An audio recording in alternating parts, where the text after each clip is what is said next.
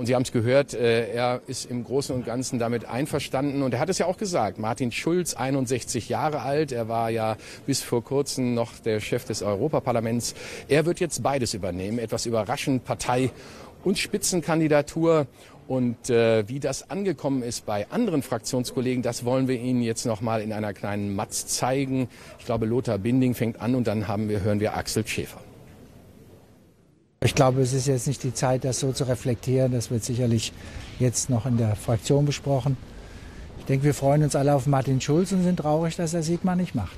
Was macht denn der Sigmar Gabriel jetzt? Was ich glaube, das ist jetzt verfrüht, darauf schon eine Antwort zu geben.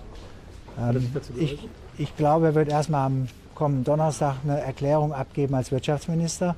dann können wir mal schauen, wie groß seine Leistungen in der vergangenen Legislatur waren. Und dann schauen wir mal in die Zukunft. Ich glaube, wir haben eine gute Zukunft für die SPD. Das heißt Abschied aus dem Wirtschaftsministerium und als neues Amt das Auswärtige? Ich glaube, das muss man heute nicht reflektieren. Das steht mir auch nicht zu, das jetzt so zu überlegen. Aber es wird eine Also- Kabinettsumbildung geben? Das wird ja automatisch passieren, weil wir einen Bundespräsidenten haben, der jetzt Außenminister ist. Insofern wird das so kommen, ja. Er hat in der Fraktion jetzt äh, seine Position erklärt. Das war sehr offen und fair. Ich fand es sehr souverän. Und ähm, die Fraktion hat stehende Ovationen gegeben, einfach weil wir sagen, das ist eine Wertschätzung und eine Verantwortung, die er für die Partei übernimmt, die ist einfach einmalig. Und ich glaube, das ist eine sehr, sehr gute Basis für einen klugen Wahlkampf. Und ähm, von daher merkt man auch, wie tief die Freundschaft in unserer Führungsriege ist und dass es so gut funktioniert. Das äh, versteht sich nicht von selbst. Herr Binding, wer ist mehr erleichtert? Sigmar Gabriel oder die SPD? Auch ich glaube, wenn alle erleichtert sind, ist es gut, aber ich glaube, es ist einfach ähm, in dieser Zeit eine Überraschung gewesen. Das hat Sie überrascht, das hat uns überrascht. Allerdings haben, waren wir ja ähm, auch offen äh, für verschiedene Entwicklungen. Es ist immer gut, wenn man mehrere gute Kandidaten hat. Aber jetzt hat mir Ihnen doch über Monate erzählt, warten Sie auf den 29. Fühlen Sie sich jetzt nicht hinter die Fichte geführt? Dass es Nein, also es ist klar, dass jemand nicht äh, an, an einem Tag in ein Gremium geht und dann plötzlich seine Entscheidung verkündet. Also das ist sehr gut, wenn man die Partei breiter aufstellt. Und da wir ja sehr offen diskutieren, da wir ehrlich miteinander umgehen, war das ein sehr geschicktes Zeichen in diese Richtung.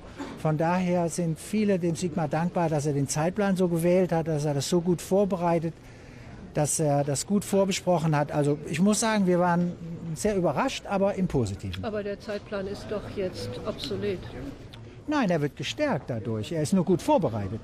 Das ist klar. Vielleicht ist es von aus, sagen wir, ähm, eine Außensicht ist da noch mal anders, möglicherweise als eine Binnensicht. Jedenfalls, wir haben es als sehr fair empfunden. Er hat es sehr seriös erklärt und ähm, er hat eine sehr große Verantwortung für die Partei übernommen. Und ich glaube, das wissen, das wissen alle zu wertschätzen. Ja, er gibt es aber in gute Hände. Er ist nicht unvorbereitet. Er, ähm, sondern er übernimmt Verantwortung und das in einer geplanten Weise. Und ich glaube, das ist sehr klug. Es sind Gremien einberufen worden für heute das Präsidium und anschließend äh, Parteivorstand, morgen Sondersitzung der Fraktionen. Jetzt hat ein wichtiges Medium in Deutschland veröffentlicht und äh, das ist überhaupt keine Verantwortung von dem, was Sigmar Gabriel gemacht hat und wie er es gemacht hat.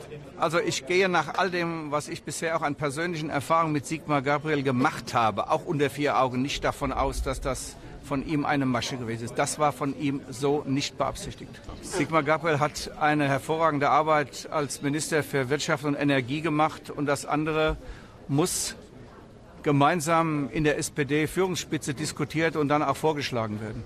Da gehört es hin.